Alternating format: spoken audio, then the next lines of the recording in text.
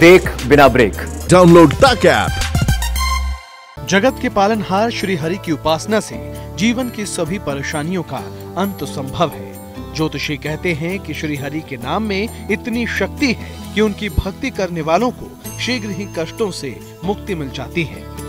मान्यता है कि गुरुवार के दिन भगवान विष्णु की विधि विधान से पूजा करने वाले व्यक्ति की सारी मनोकामनाएँ पूरी होती हैं। अगर आप तनाव में रहते हैं और उसे निकलने का कोई रास्ता नज़र नहीं आ रहा है तो श्री हरि की शरण लें। श्री हरि के एक मंत्र का जाप आपको तनाव से मुक्ति दिला सकता है। भगवान विष्णु की कृपा पाने के लिए खास तौर पर विष्णु गायत्री मंत्र महामंत्र माना गया है, क्योंकि जगत जननी गायत्री की 24 देव शक्तियों में भगवान विष्णु एक है।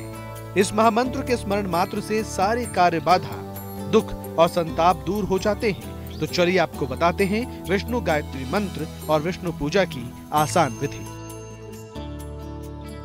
केसर, चंदन, फूल, तुलसी की माला पीताम्बर वस्त्र, कलावा, फल चढ़ाएँ। केसरिया, भात, खीर या दूध से बने पकवान का भोग लगाएँ। धूप और दीप जलाकर पीले आसन पर बैठें। तुलसी की माला से विष्णु गायत्री मंत्र की एक, तीन, पाँच या ग्यारह माला का जाप करें। विष्णु गायत्री मंत्र है, ओम नारायण विद्महे वासुदेवाय धीमहि, तन्नो विष्णु प्रचोदयात्। श्री हरि से यश, प्रतिष्ठा और उन्नति की कामना करें। पूजा और मंत्र जाप के बाद भगवान की धूप, दीप और कपूर से आरती करें। देव स्नान कराया जल, यानी चरणामृत और प्रसाद ग्रहण करें। कोई व्रत रखता है तो कोई भजन कीर्तन करता है और कोई श्री हरि को मंत्रों से प्रसन्न करने के प्रयत्न करता है।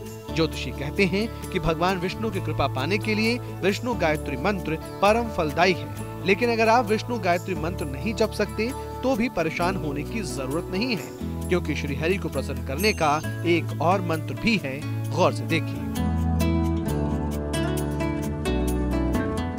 स्नान के बाद पीला वस्त्र धारण करें। भगवान श्री हरि की प्रतिमा को पंचामृत और गंगा जल से स्नान कराएँ। भगवान को फल, फूल, केसर चंदन और पीला फूल चढ़ाएँ। पूजन के बाद श्री हरि की आरती करें। ओम नमो नारायणाय, या ओम नमो भगवते वासुदेवाय मंत्र जपें इसके बाद भगवान से अपनी मनोकामना कहें।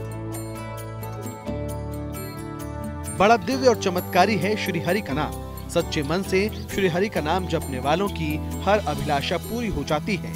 तो आप हमारे साथ बने रहिए। आगे हम आपको श्री हरि के शालिग्राम स्वरूप की महिमा बताएँगे। देखते रहिए आप। Sir.